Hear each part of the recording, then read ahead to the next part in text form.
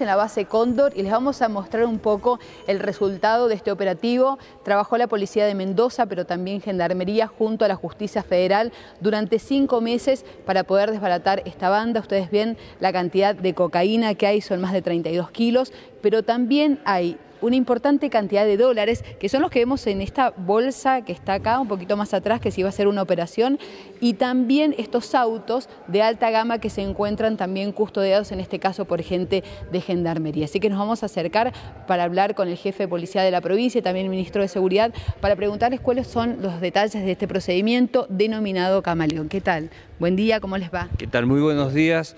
Eh, sí, se denomina camaleón fundamentalmente por la metodología que se tenía para ingresar la droga, mimetizados o junto a personas que hacen de pasadores en la zona de la frontera en Orán, la frontera con Bolivia, y a través de, una, de un trabajo de inteligencia, de investigación realizada en conjunto con la Gendarmería Nacional Argentina y la Policía de Mendoza, se ha logrado desbaratar esta organización criminal con una cantidad de detenidos muy importante, de 15, estamos hablando de 15 personas detenidas, algunas de ellas de Salta, de San Juan y de Mendoza, la gran mayoría de Mendoza. El cambio estratégico en las tareas operativas es que eh, lejos de esperarlos a que llegaran aquí, los salimos a la búsqueda y los encontramos donde nosotros pretendemos encontrarlos, sin que llegue a ser... ¿Cómo era el circuito de distribución? ¿De dónde venía la cocaína? Viene procedente de Bolivia, pasa por Salta, se hace toda una tarea estratégica en el lugar por parte de, los, de estos malvivientes y hasta que finalmente llegan con una logística muy importante a la provincia de Mendoza en donde es eh, fraccionada, estirada y comercializada seguramente a otros mayoristas de, eh, de este lugar este trabajo nos ha dado a nosotros la posibilidad de dar plena certeza que en los últimos 15 20 días hemos tenido un secuestro por demás histórico y récord. Estamos hablando de aproximadamente 90 kilos de droga y a eso la cantidad de desfinanciar, es decir, de quitarles los activos a estas organizaciones para impactar fuertemente en la lucha contra el narcotráfico. Bueno, está con nosotros también el ministro de Seguridad de la provincia. Eh, le queríamos preguntar, también se encontró dinero, ¿qué cantidad de dólares? ¿En cuánto está evaluada esta, esta droga y cuál es la pureza que tiene? Aproximadamente el precio de la droga sola son 8 millones de pesos, pero encontramos también 171 mil dólares porque estaban por hacer otra compra. Esa bolsa que vemos ahí tiene esa, cantidad de dinero. Sí, 620 mil pesos aproximadamente y 110 mil pesos chilenos. Es un dato interesante, por ejemplo, acá cuando esté en la filmación, por ahí pasa desapercibido, pero la droga iba en ese tanque de nafta modificado, que se modificó en el norte. Eh, creo que iremos también, también por la persona que hizo la modificación, a ver si tenía conocimiento. Pero sí resaltar ese trabajo conjunto y con el juzgado federal, quien el doctor Garnigue acaba de felicitar a, los operadores, a la policía de gendarmería por este trabajo. Es muy interesante y como dijo el director general Munives, que se ha encontrado a los financistas y a todos, parece que la banda queda con estos 17 allanamientos ya eh, desestructurada. Cuatro mujeres operaban en dúos como haciéndose pasar por parejas normales eh, para no llamar la atención de la policía y por eso se le llamó camaleón a esta, a esta banda. ¿Y acá en Mendoza en qué lugar se comercializaba la droga principalmente?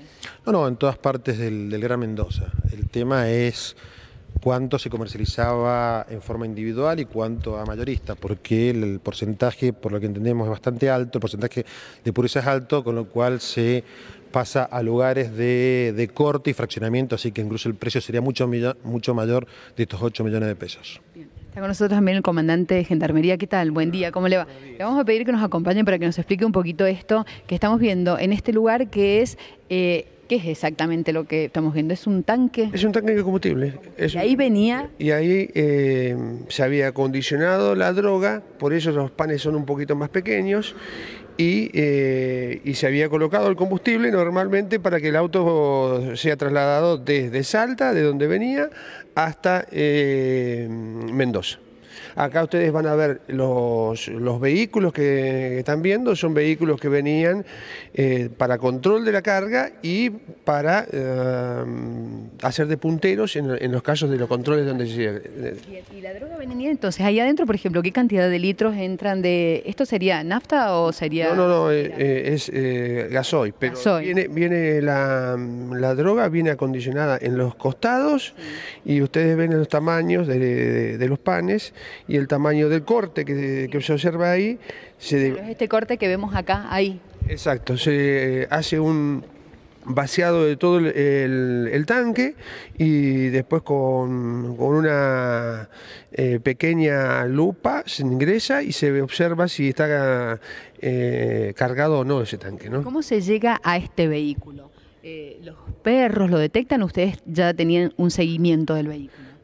No, se llega a, la organización y en particular a este vehículo después de cinco meses de trabajo en conjunto investigativo entre ambas fuerzas eh, y con intervención de un juzgado federal. Es decir, eh, no podríamos haber detenido a 15 personas, secuestrado la cantidad de vehículos y la mercadería, el dinero sin haber este, tenido los elementos necesarios como para aseverar que lo que estamos eh, enfrente es de una organización eh, criminal dedicada al traslado y distribución y venta de este tipo de mercadería. Eh, ¿Con esto se desbarata la, la, banda completamente? ¿Usted cree que todavía quedan otros integrantes trabajando en otros lugares? No, en principio, en principio nosotros eh, establecemos que el 90% de, esta banda está desbaratada, por lo cual eh, podría quedar en, pie algún elemento menor, pero eh, las personas más importantes a cargo de esta, de esta banda están detenidas. Bueno, muchas gracias. Gracias, por favor. Muy amable. Bueno, y por último agregar un dato que tiene que ver con la droga, que aseguran que tiene por lo menos un 90% de pureza. Sale 8 millones, es lo que se compra, digamos, pura, pero en la comercialización final eh, pueden llegar, puede llegar a estar valuada aproximadamente en 20 millones de pesos, esto que estamos viendo en este lugar.